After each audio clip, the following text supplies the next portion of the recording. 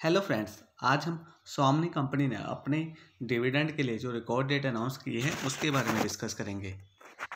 Friend company की 17 मार्च 2021 बुधवार को बोर्ड ऑफ़ डायरेक्टर की मीटिंग है।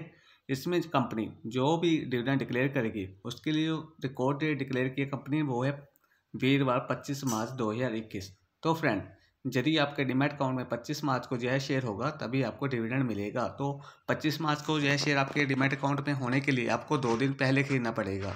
तो इसकी एक्स डेट बनी 24 मार्च और जो लास्ट बाइंग डेट बनी, वो बनी 23 मार्च।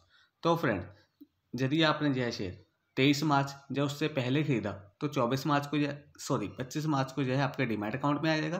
तो कंपनी जो भी डिविडेंड अनाउंस करेगी वो आपको बैंक अकाउंट में मिल जाएगा। और फ्रेंड्स सत्रह मार्च को जो भी कंपनी डिविडेंड अनाउंस करेगी, उसके बारे में हम आपको अपडेट कर देंगे। Okay friend thanks